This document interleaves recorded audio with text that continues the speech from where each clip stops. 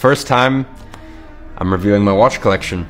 In the watch roll, I have my four favorite watches in my collection at the moment, but we'll save that till the end of the video.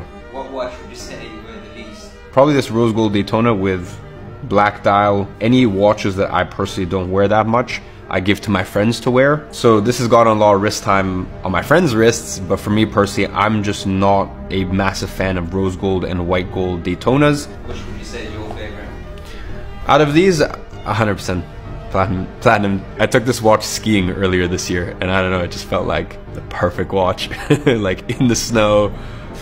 Uh, I have one more Daytona, white gold, blue dial. Once again, just uh, once again, what can I say? Beautiful watch, classic watch, timeless watch. Wow, this has a lot of scuffs. I think this has been with my friends far more than me. So whoever abused this watch, wow.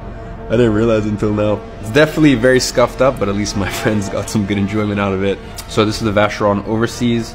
This is the second Overseas that I have. So what I love about this watch, which uh, is also same with the Cartier Santos, so this is one of my skeletons. This is a steel. I've also got a rose gold. I don't really wear this watch much anymore, so Alex, my head of production, this has basically just been his watch this entire year.